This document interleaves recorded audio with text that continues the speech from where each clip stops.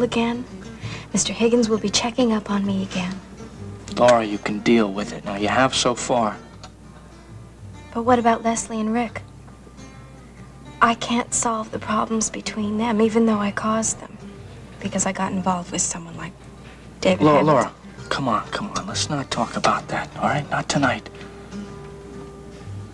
But they're very real problems, Scotty. And they're not going to disappear just because we don't talk about them. Yeah, but Laura, talking about them over and over again isn't going to do any good either.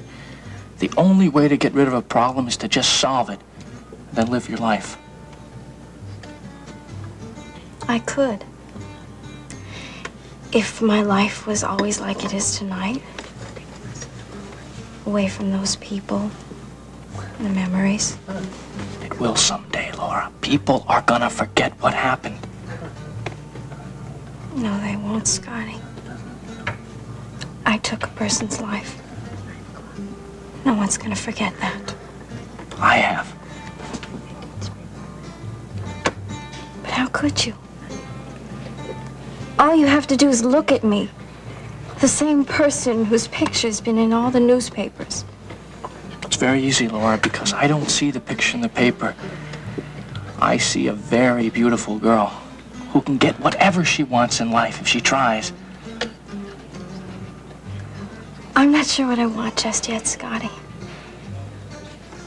But I, I can't imagine being happy at anything unless you were a part of it. I told you tonight was gonna be the start of a new beginning.